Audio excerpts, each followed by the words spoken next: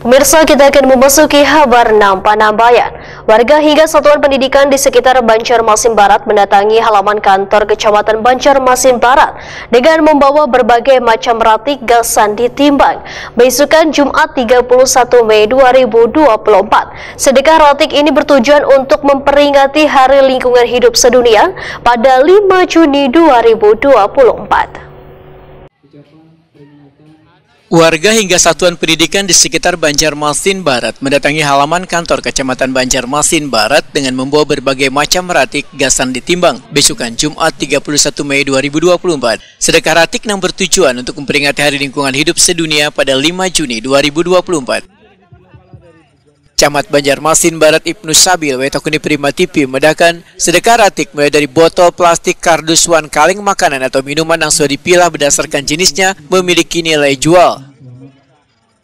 Hasil dari penjualan ratik yang dikumpulkan ini nantinya akan disedekahkan wan dimanfaatkan pada kegiatan sosial di antaranya gasan penanganan stunting dengan memberikan makanan bergizi dan kayak buah-buahan bagi kekanakan bersiko stunting di kawasan Kecamatan Banjarmasin Barat.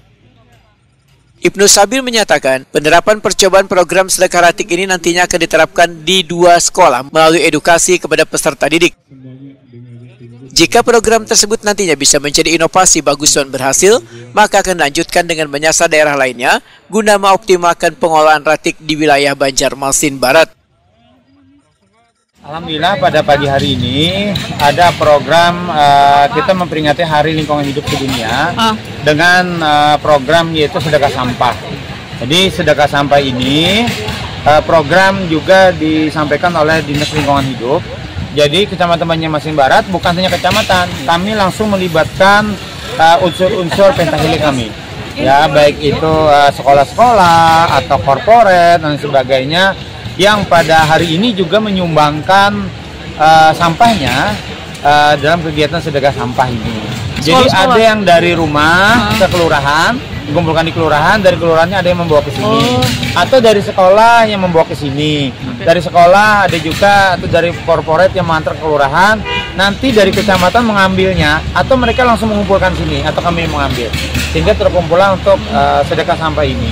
Untuk hasil sedekah sampah ini, uh, yang pertama kami akan membuat ucapan terima kasih dulu kepada mereka-mereka yang sudah memberikan mm. atau berpartisipasi dalam Hari Lingkungan Hidup Sedunia ini. Yang kedua, mm. hasil ini juga kita akan gunakan nanti untuk uh, pembelian kegiatan sosial. Misalnya okay. seperti membeli buah untuk uh, stunting misalnya, nah seperti itu uh, salah satunya.